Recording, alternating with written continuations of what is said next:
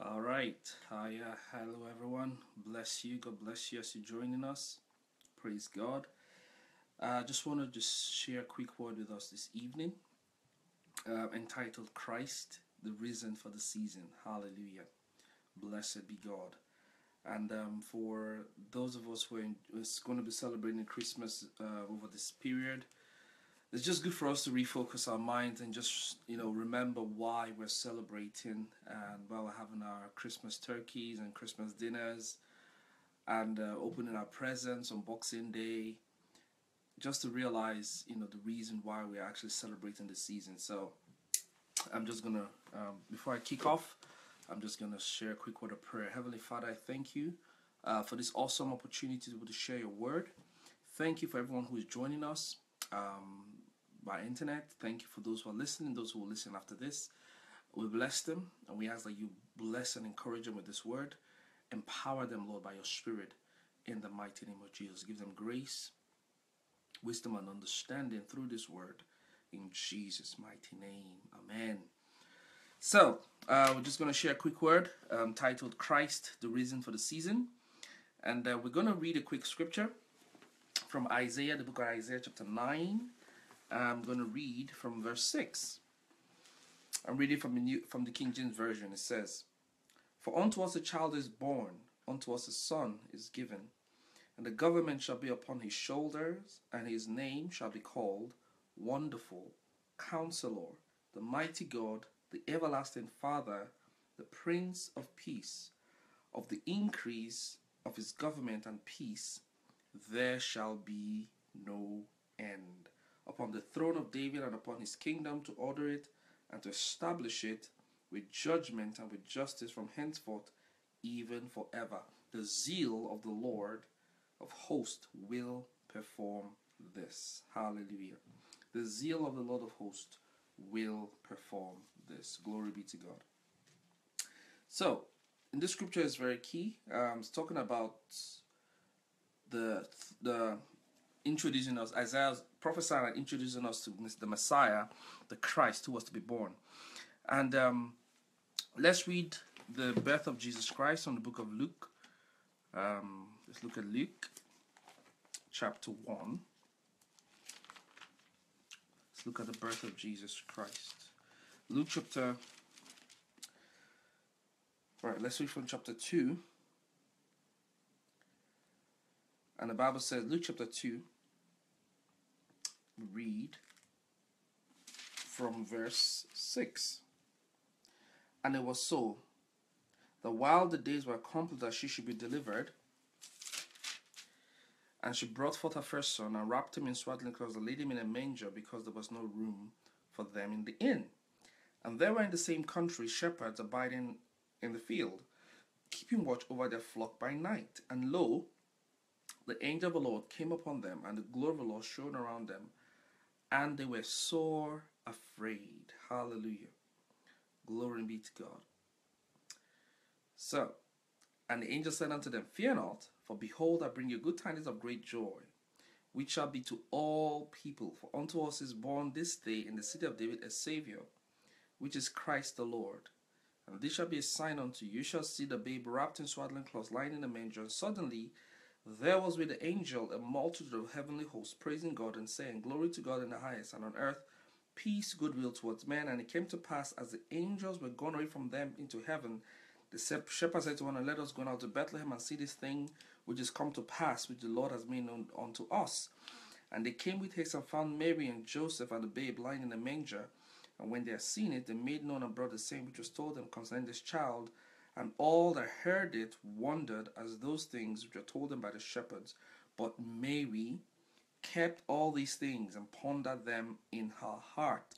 And the shepherds returned, glorifying and praising God for all the things that they had heard and seen as it was told unto them. Hallelujah. Glory be to God. So the shepherds returned to Jerusalem, and noise abroad the things that were shared or told unto them regarding the birth of Jesus Christ. Glory be to God. Hallelujah. Glory be to God.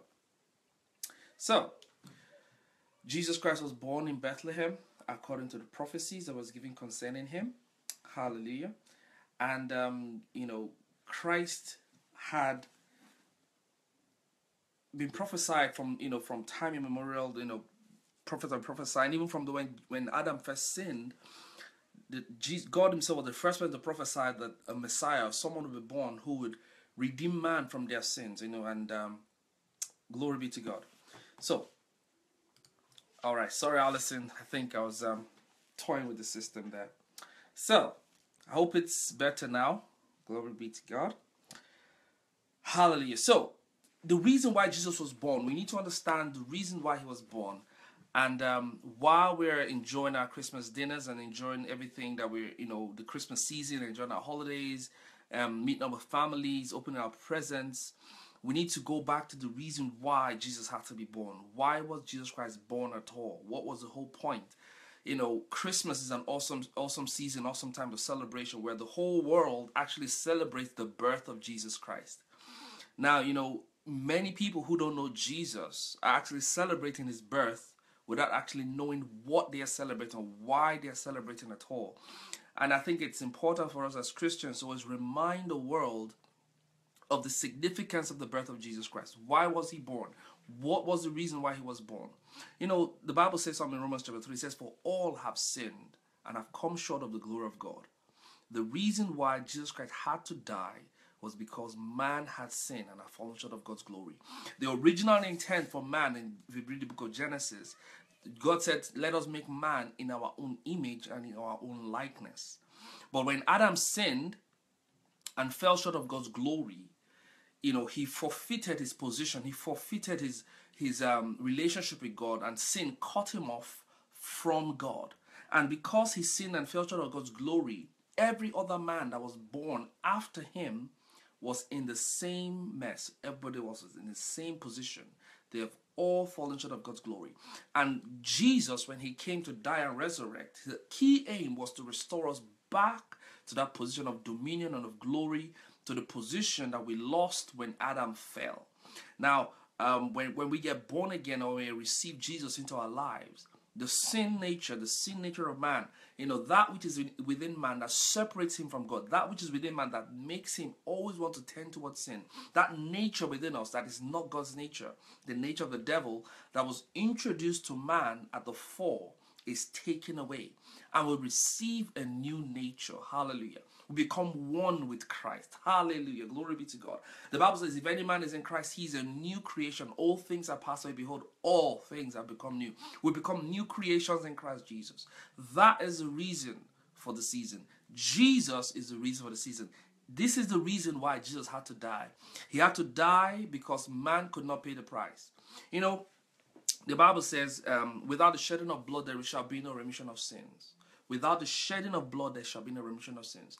And all through um, Moses' um, sacrifice or Moses, the Mosaic covenant when he made, which he made with Israelites in the, in the wilderness, those sacrifices was made as an atonement for their sin to cover their sin so that god will be able to bless them. So all through the bible we could see that the sacrifice or you know the sacrificial system was instigated by god so that man could be able to come to god or be able to approach god. Hallelujah. But in those sacrifices there was still the bible says in hebrews chapter 10 that there was still a remembrance of sin in all those sacrifices that was made, there was still the remembrance of sin. So the sin problem hadn't been taken away. So even if they made all the sacrifices, the problem of sin was still there. So God was still seeing the sin. But the, the sacrifice covered it, and He could bless them, and they could approach Him. But when Jesus came, the Bible calls him the perfect sacrifice, the, the lamb without spot nor blemish, the perfect sacrifice.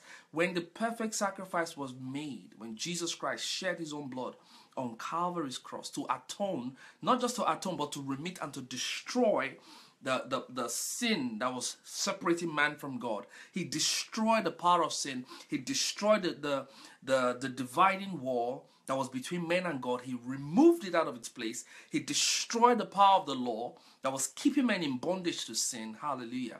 But the Bible says without the law, sin has no effect, or sin is sin is powerless without the, the effect of the law. So Jesus Christ died so as to remove the nature of sin. That's the key point.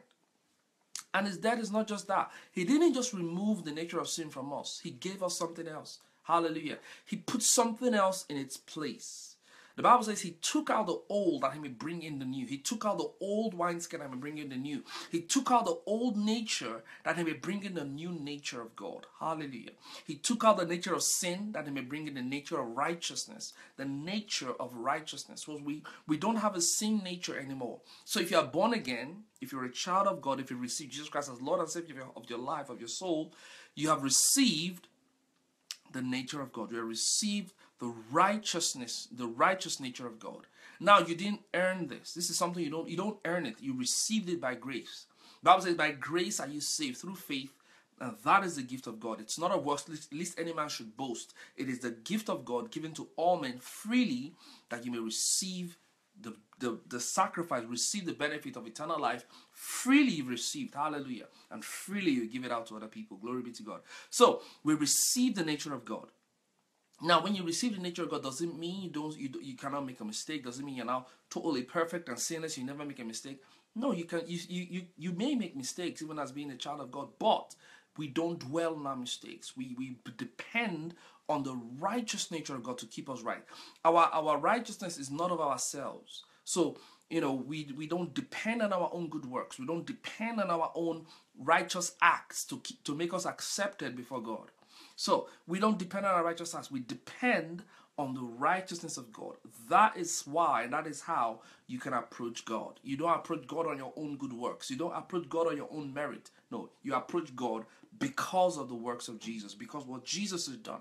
He's paid the price, paid the perfect sacrifice that you and I can be saved. Glory be to God. And that is the reason for the season. That is the reason why Jesus had to die. He died because of the sin nature of man. He died to restore us back to righteousness, to restore us back to our pre Adamic state, to restore us back to the relationship we had with God before Adam sinned. Hallelujah. So you now have access. The Bible says we have access by grace into this, by, by faith into this grace where we stand. We have access to the throne room of God. Glory be to God. The Bible says that we should come boldly before the throne, throne of God and obtain mercy and find grace to help in the time of need. Hallelujah. Glory be to God. Welcome, Elohim. God bless you. So, this is the reason for the season. Jesus is the reason for the season. So while you're enjoying your Christmas turkey, enjoying your your you know your holidays, meeting family, opening presents, always remember teach your kids you know tell your kids jesus is the reason for the season. It's not santa you know with, you know coca-cola has done a great job of promoting santa and all that kind of stuff. But that's not the reason for the season. The real reason for the season is jesus. So while the whole world is celebrating the birth of jesus christ may we never forget may we always remember why he died and may we also remember the, the great price he paid. It's not a it's not a cheap price. He paid a very expensive price for your salvation and for my salvation. So wherever you are, as a believer, you have a you have a responsibility to those around you to remind them why they're celebrating. So always remind them Jesus is the reason for the season. It's actually the best time to preach to people. It's not preaching at people, but just reminding them do you know why you're celebrating Christmas? Do you know the reason why the whole point of Christmas is being celebrated? You know, just remind them because most people don't get it, especially unbelievers. They don't know why they're celebrating Christmas. They just you know, think it's time of get you know to get drunk or to, you know go parties or whatever it is. No, this is a time to reflect on the great privilege we have of being children of God, of being included in the family of God. Hallelujah. God paid a Jesus paid the price for your sin. He paid the price for my sin so that we may be included into the family of God. Hallelujah. Glory be to God. What an awesome privilege. What does it mean to be in the family of God? What does it mean to be a, a part of the body of Christ? Glory be to God. You have the same rights. you have the same rights and privileges that Jesus Christ has today. It's an awesome privilege. You have the same rights as a son of God the same right that Jesus Christ has today. You have the same inheritance that Jesus Christ has today. That's an awesome, awesome privilege. So, as a son and a daughter of God, you are in the same category as Christ. Glory be to God. Hallelujah. Glory be to God. You have the same authority. You have the same power. The Bible says the same spirit that raised up Christ from the dead dwells in you. Glory be to God. That's an awesome, awesome truth. If we can grab that truth with, our spirit to realize the same power that raised Jesus from the dead dwells in you and I as believers, we have the same authority in the name of Jesus. Now, the authority is invested in that name. Now, when you say that name with authority, with understanding, with conviction, in knowing who you are as a child of God, that at that name, the Bible says, demons shall tremble at that name, every knee shall bow of beings in heaven, beings on earth, beings under the earth. Sickness and disease bow to that name. You know, temptations, tests, and trials, they bow to them at the mention of that name. Because at the mention of the name of Jesus, every knee, the Bible says, shall bow. So this is the privilege you have as a child of God. This is the privilege I have as a child of God that we have power in the name of Jesus. We have authority invested in that name. The Bible says that name is, has power in heaven. That name has power on the earth. That name has power under the earth. When you say that name, angels listen. Glory be to God. The angels are at attention, waiting for your next command. The Bible says the angels of God, they hasten to at the word of his command. And when you speak, it's as good as God speaking. For the Bible says, God said, I will put my words in your mouth. So that when you speak those words, it's as good as God speaking those words himself. Glory be to God. So when you meditate on the scriptures, Soak yourself in the word. Believe that every promise, the Bible says, all promises of God in Him are yeah and amen. Every single promise God has made concerning you is amen. God backs it up. When God says you are blessed, hallelujah, you decree by faith, I'm blessed in Jesus' name. When God says you are the head and never the tail, you decree by faith, I'm the head and never the tail. When God says you are above and never beneath, hallelujah, you are above and never beneath. You shall lend to nations, shall not borrow. You are you are the blessed of God, you are the favored of God. Bible says by his stripes you were healed. You decree by his stripes, I was healed. Glory be to God. Hallelujah. Sickness and disease cannot dwell or abide in my mortal body body. Glory be God. Because the Bible says, if the spirit of him that raised up Christ from dead dwell in me, that same spirit shall give life. That spirit shall give healing virtue to my mortal body. Glory be to God. You go out there, minister life to people. You have the life of God. That's one of the great things we received when we received Jesus. The Bible says in him was life and the life was the light of men. That life was what you received when you came into Jesus. Hallelujah. God came to give life to everyone that will believe. The Bible says, you know, God so loved the world that he gave his only begotten son that whosoever believes in him should not perish but have eternal life. So you have eternal life as a child of God. You have the life of God, the Zoe nature of God. The nature of God is on the inside of you. The life of God is on inside of you. You need to use that life. You need to manifest that life. Glory be to God. How do you release that life? By, by speaking words. You can speak words of life. Glory be to God. The Bible says, let your words be seasoned with salt that it may impart grace upon the hearers. When you speak words of life, people receive life. Hallelujah. When you lay hands on the sick, life is transferred from your body body, from your spirit. Now, it doesn't come from your body, it comes out of your spirit. The Bible said, Jesus said, out of your belly shall flow rivers of living water. That life flows out of your spirit. By faith, you believe that when I lay hands on the sick, they recover in Jesus' name. When I speak words of life, life flows out.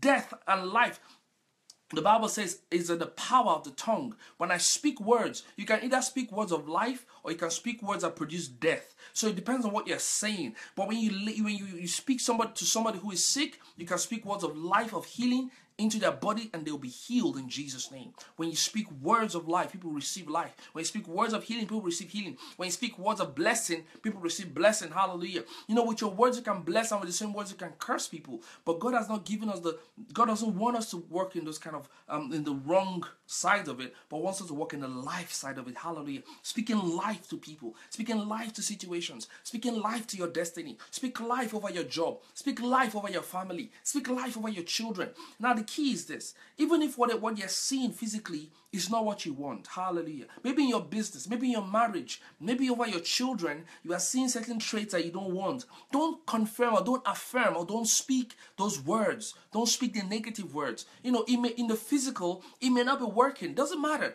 Just speak what you want to see, hallelujah. The Bible says, Whosoever shall say to this mountain, Be thou moved, be thou cast in the sea, and shall not doubt in his heart, but believe that those things which he says shall come to pass. He shall have whatsoever he says. So begin to speak words that you want to see to come to pass. Begin to speak words of life. Speak words of healing and health over yourself, over your children, over your business, hallelujah, over your family, glory be to God. And in this season of love, just spread the love of God, glory be to God. Minister life to people, minister love to people, glory be to God. And you will see people being changed. Anyone that comes around you would notice the difference that you are someone who brings light, who brings love, who brings encouragement. Hallelujah. You're the person they want to come around with. Hallelujah. Now, another key I'll tell you is this don't respond or don't react to what people do. Hallelujah. So when you see somebody walking negatively towards you or walking in hatred or variance or whatever it is towards you, they don't like you. Forget, forget it. it. Doesn't matter. You love them anyway. Hallelujah. You minister life to them. You show them a better way. Hallelujah. Doesn't matter how they treat you. It's how you treat them that matters. Hallelujah. Glory be to God. I'll say that again. It doesn't matter how people treat you it matters or it's more important how you treat them because that's what God con- con- is concerned about. He's, in, he's concerned about how, how you respond. Now, Jesus Christ never reacted to the devil, he always lived his life in response to the Father. So the same way, you don't live in reaction to the devil. So when the devil is doing something, you start you, start panicking, you start doing stuff. No, just live in response to the Father, trusting in Him. Glory be to God. Trust in the Lord with all your heart. Lean not to your own understanding. In all your ways, acknowledging Him, and He shall direct your path. Glory be to God. So Jesus the reason for the season. Hallelujah. Jesus is the reason why we're celebrating Christmas. He's the reason why we're celebrating and we're rejoicing this season. So wherever you go, be an ambassador for Christ. Be an ambassador telling people the good news of salvation. Tell them the inheritance which we have in Christ Jesus. Tell them the reason why they're celebrating this season. The reason is Jesus. Glory be to God. He's, he's the reason why you are celebrating. the reason why I'm celebrating. And also in this time of love and of fellowship and of family and of union, call people you've never called in a long time. You know, the Lord will remind you of people that you need to you need to pray for, you need to speak to, you need to visit. You know, spend time out, visit people, call them, encourage them, be a blessing to people around you, and just you know be the light in the darkness hallelujah don't complain about the darkness don't complain about you know the wickedness in the world you be the light in the darkness you go out there and be a light. You go out there and be, a, an, example of the believer. The Bible says in word, in conduct, in faith, in purity, in holiness. You are the one God is looking up to. You are God's weapon of war. You are God's battle axe. You are God's choice for this season. Hallelujah. So, you and I have a responsibility to let people know the reason for the season is Jesus. Hallelujah. And you are an ambassador for Christ because you are the you are the representative of Christ. You are the Christ people are going to see in the earth. Unbelievers may not know Jesus, they may not have, never have heard of him, but they see you. So when they see you, let your life manifest the life of Christ. Let your life manifest how Christ would be. If Christ was on the earth today, how would he be? How would he look? How will he how will he speak? How will he dress? How will he address people? Hallelujah. What will be his character? That should be your, your aim, is to represent Christ as though Jesus Christ was right here physically on the earth. But he is in you, hallelujah. So Bible says Christ lives in you. The life I live and I live, I live by faith. It's no longer I who live, but it's Christ who lives in me. So Jesus Christ is living his life through me. As I step out on the street, Christ steps out on the street. Glory be to God. So when you have this mindset, spend time in the Word, meditate upon things like this. Think about Christ in you, the hope of glory. Think about the life of God that is flowing through you. Think about being the light in the darkness. Think about being you being the salt in the in, in the earth. Hallelujah. Because Jesus Christ depends on you. The heaven is depending on you. So speak the right words. You know, go out there, minister life to people, lay hands on people if you have to encourage one another let's pray for one another. If you see somebody who is who is living in sin or someone a brother or sister who is struggling with one thing or another rather than speaking negative words or encouraging the gossip you know rather just pray for them. Glory be to god. Encourage them when you see them. Hallelujah. Tell them that they can make you know they can live the christian life because that's not who they are. Who they are is written in the word and they are the life of god. They are the light in the darkness. So they're they're manifesting what they're manifesting is not according to their nature. Their nature is the nature of Christ. Hallelujah. They don't have a sin sin nature, they just have a sin habit that they need to kick by the power of the Holy Spirit. You pray with them, encourage them, and just let's let's minister life one to another. So I want to bless you for this um for taking this time to listen to this word, share this message with someone you love, and uh, let's let everyone know why that Jesus Christ is the reason for the season. Hallelujah. But I want to pray before I go. I want to pray for every one of us on this call. Um, whatever your need is right now, let's trust God. The Bible says if two of us shall agree on earth as touching anything that we shall ask, it shall be granted by our Father who is in heaven. So, whatever that need is right now, I don't know what it is, but God knows and you know. Let's agree. M- myself, you, and God are in agreement over this thing. Whatever it is, it might be your family, it might be your job, it might be your, your kids, it might be your marriage, it might be finances, it might be a new job you're looking for, whatever it is you're looking for. Right now, let's believe God together. If you want to write it down, write it down. Let's talk about it. If not, you know God knows, and I'm going to agree with you in prayer that this before the year ends, before the year ends, before the 31st of December, I'm in agreement with you that you're going to hear something miraculous. You're going to hear a turnaround, to see a turnaround in that situation. You're going to see a miracle, a, a Christmas miracle is going to happen for you. Before the new year comes, God is going to come through for you. I'm going to release the angels of God. Hallelujah. The Bible says angels are ministering spirits sent forth to minister for us who are the heirs of salvation. So we're going to release angels to go on our behalf to bring your request, to bring your Christmas miracle. The same way the angels announced the birth of Jesus, the same way the angels are going to announce your miracle, your deliverance, your prosperity, your safety, your healing, whatever you need, you need, you're believing God for. Right now, let's pray and let's trust God in Jesus' name. Right now, in Jesus' name. Father, I thank you for my brother, my sister, um, whoever it is right now in agreement with me. I just pray for them, whatever the need may be. Right now, Father, you know what, what that need is that they're believing you for. For those who are in need of healing, right now, there's power in the name of Jesus. I command every sickness, every disease to leave their bodies now in Jesus' name. I release the healing virtue of God. I release the power of God into their spirit, into their bodies right now to drive out every sickness, every disease, every infirmity in Jesus' name. For those who are in affliction by the um, by you know from the enemy through demonic affliction, through spirits of infirmity, to spirits of pain, or whatever it is right now, by virtue of listening to this broadcast, I command every spirit of infirmity, every spirit of pain and affliction to go from them right now in the mighty name of Jesus. For those who need miracles in their finances, miracles in their marriage, need a miracle in your in your business, in your family, your children, whatever it is, I just feel there's someone, you've got a child who's got some kind of learning disorder, and I just pray right now in Jesus' name, there is power in the name of Jesus. And I command that learning disorder to come out in Jesus' name. I command a restoration of the memory of that child. I command a restoration of the brain function. That whatever needs to be corrected right now by power in the name of Jesus, I command a restoration of function in that man, in that mind, in that memory, in that brain, in Jesus' mighty name. I release life into that child and I command that child totally healed and restored in Jesus' mighty name. For those who are going through marital issues, um, going through you know relationship issues right now in Jesus' name. Someone is saying, you know, my husband doesn't stay home, he doesn't come back, comes back home late, or you know, he sleeps outside or whatever it is. Right now, in the name of Jesus, I command a restoration in that marriage. Whatever it is the enemy is used to attract this person out of the home, I command a break in that thing. Right now, in the name of Jesus, I lay claim to that, that man's salvation and to that home and to that marriage. I release the peace of God into that marriage. I release the love of God into that marriage